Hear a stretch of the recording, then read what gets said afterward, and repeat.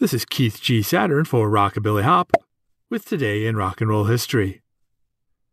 On this day, March 1st, 1958, in what would prove to be a major influence on the burgeoning British rock scene, Buddy Holly and the Crickets began their first and only UK tour at London's Trocadero Club, playing 25 dates of two sets a night.